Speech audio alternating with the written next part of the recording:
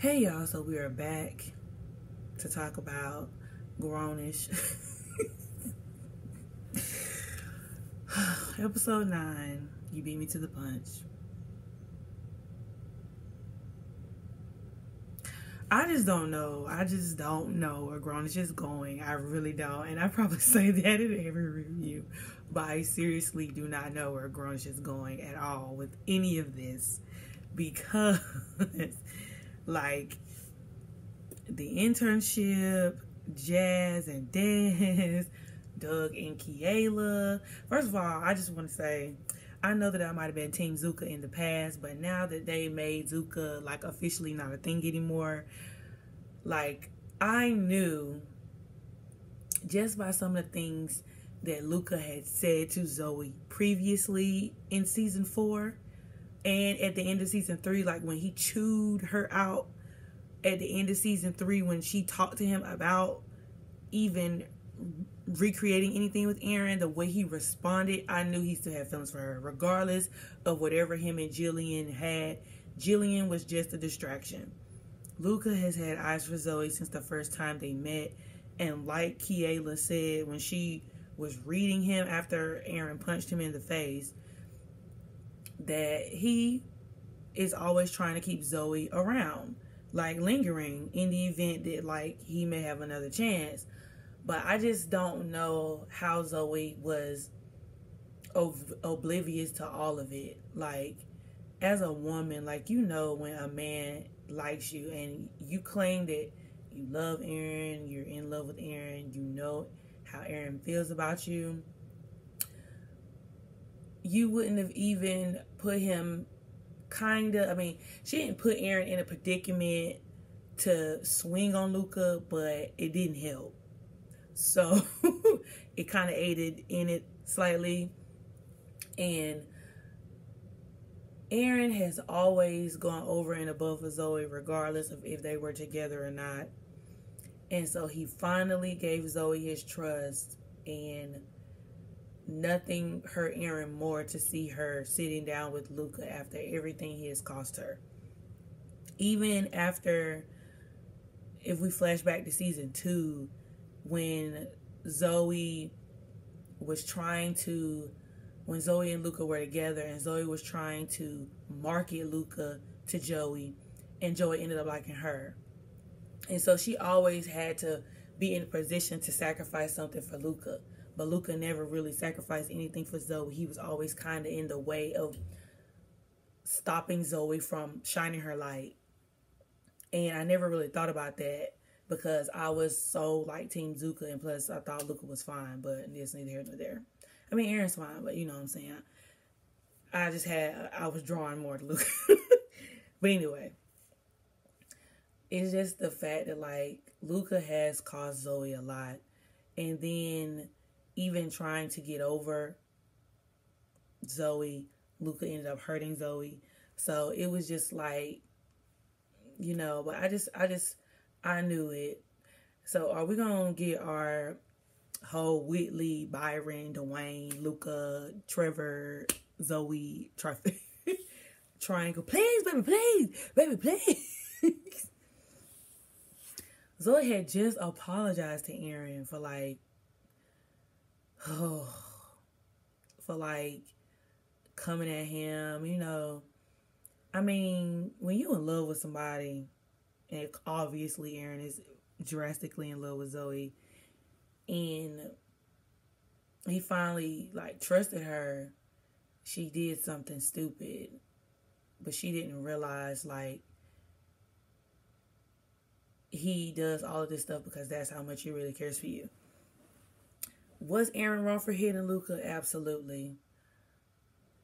But at the same time, Luca knows what he's doing. And Aaron knows that Luca knows what he's doing. They've had this whole thing since season one when they was in midnight class with Charlie.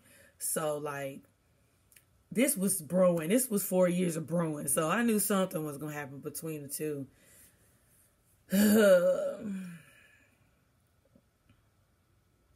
Aaron was so hurt. Bro took all bro took a good amount of stuff out of his apartment. I don't know where he went, but hopefully he didn't go do anything to try to hurt Zoey because even though Zoey might have been oblivious, she didn't do anything with Luca. But she put herself in the position for something to happen. So hopefully Aaron doesn't, you know, do anything to hurt Zoey. But I think she's gonna figure everything out. And plus I think all of this is gonna be eased over and see in episode ten once it comes back in January. Um yeah. Ki Ki Kiela, whatever her name is, she saw it. She saw it for what it was worth. She that's why she said something to Luca. She was like, Luca, you know exactly what you're doing. You know. Y'all haven't feel at the luau crazy because she couldn't even get in contact with him, but yeah, he at the party. He can't even take care of his own child, but yeah, he at the party. So that's weird. But I think Grownish needs to go ahead and just nip this whole thing with Phil in the bud. Is he gonna be in Luna Life? Is he not gonna be in Luna Life? Stop addressing but not addressing the situation.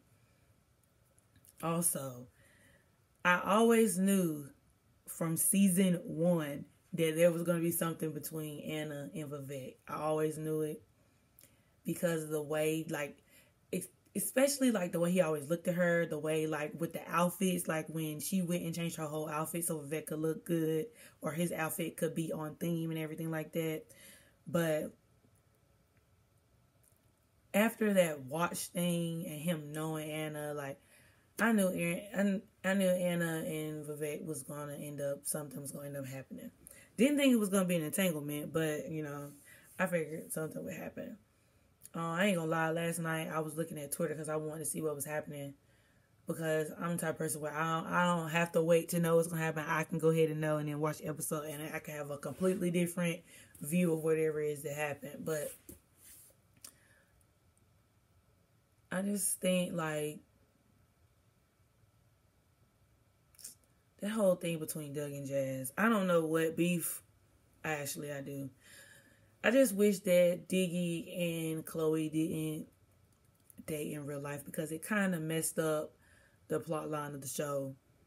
Like, they may say it didn't have anything to do with it and that they're just friends, but we saw the photos. They was dating. And so I think them not dating anymore in real life had something to do with um, Jazz and Doug not being a thing on the show anymore. But them trying to date other people is just weird because we done had them for three whole seasons, and for them to just abruptly break up like that was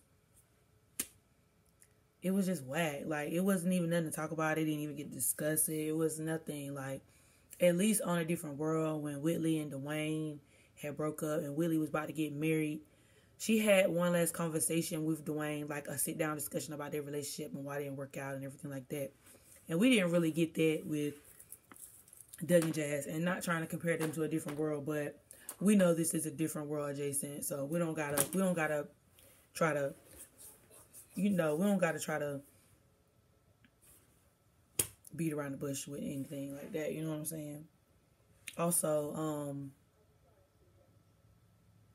I just think that whole Vivek trying to find somebody for them to matchmake with, that whole thing was just funny. I think that was just the comedic relief part of the episode because it was, you know, other things going on in the episode that were weird.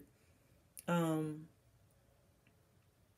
I feel like as far as them being seniors, like we didn't get to see anything. At least the first two seasons, um, Grownish was more built around them going to class and like actually being in school as students. But junior year and senior year really didn't focus on them being in school at all.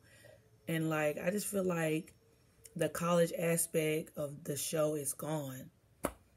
I know that like Aaron is a a, a TA or a graduate teacher or whatever like that, but they didn't really even focus.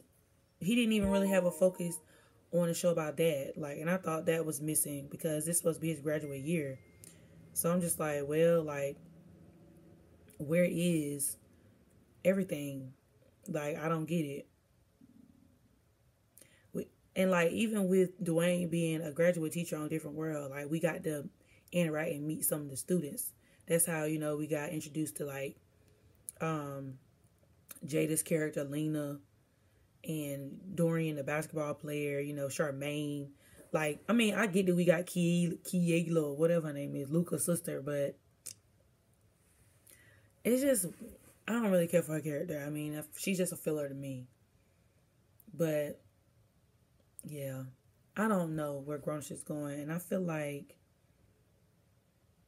these last ten or twelve episodes of season four got to give, or else the show is gonna go down as a buzz.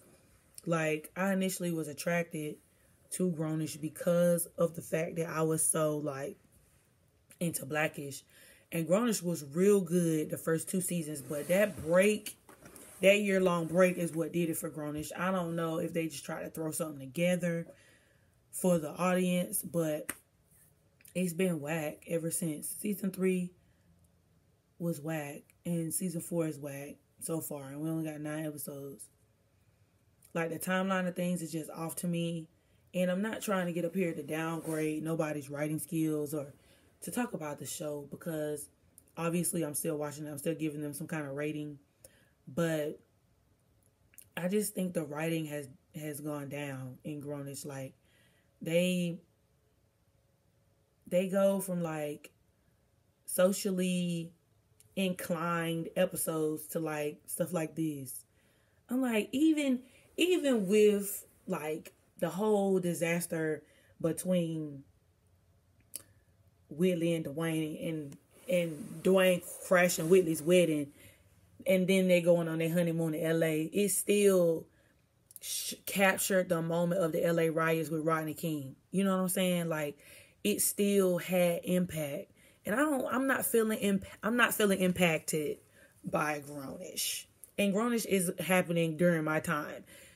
You know, different world happened 20 to 25 years before I was even born. You know what I'm saying? Like, if you ever had a chance and you got an Amazon Prime membership, go and watch all of A Different World from the beginning to the end. They got all five or six seasons up there, and it's a really good show. And it's really like, it really was for the culture. I feel like Grownish could have been the same thing, but a more progressive type show. But I feel like they just missed the mark on quite a few things. Like a lot of things have happened during the course of the four years that Grownish has been on TV for them not to have had the impact that they could have had, if that makes sense. They they even with the thing with Nomi, like they could have done so much with her being a single mom in college that they dropped the ball with. Just they hit and they hit and miss, you know, every episode. Like when the daycare closed, that was a good way to segue with to being a single mom in college type thing. But they didn't do that. And that was the second time. Or her figuring out what she's going to do with her child's father. They dropped the ball with that. I mean, hopefully, like I said, at the second half of Grownish season four, they come out swinging. But I just don't know. I don't know.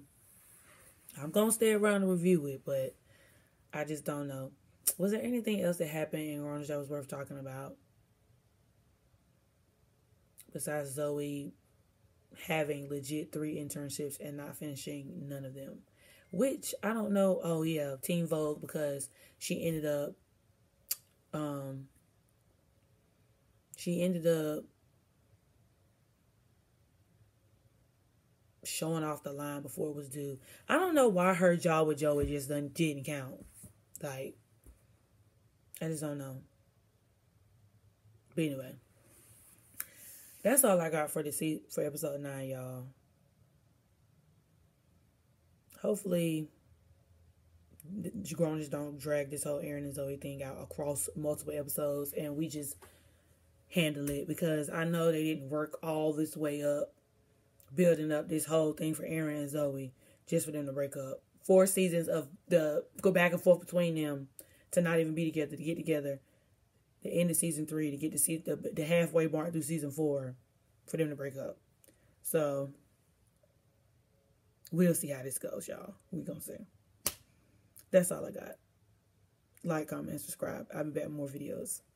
Deuces.